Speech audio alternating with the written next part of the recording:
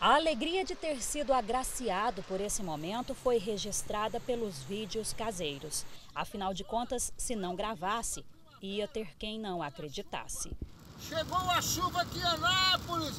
Uhul!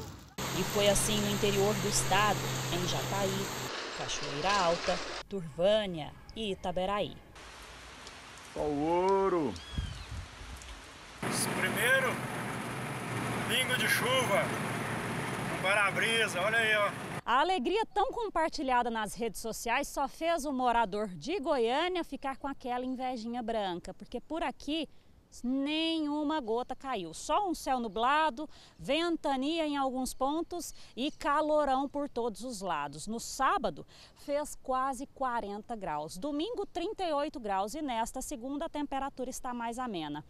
A expectativa é que fique um pouco mais, com finalmente a chegada da chuva. Principalmente na região centro-sul do estado. Então, inclui a capital e a região sul, sudoeste, ali Caldas, é, Itumbiara, Jataí, Rio Verde. Ainda é aquela chuva que pode ser mais de pancada, né, localizada, e também tem a condição ainda de granizo. Pena que não dá para se animar tanto.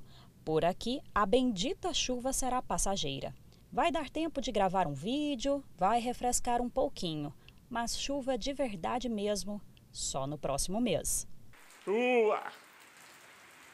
Mas não é boa. Vem devagarzinho, sem vento, sem nada.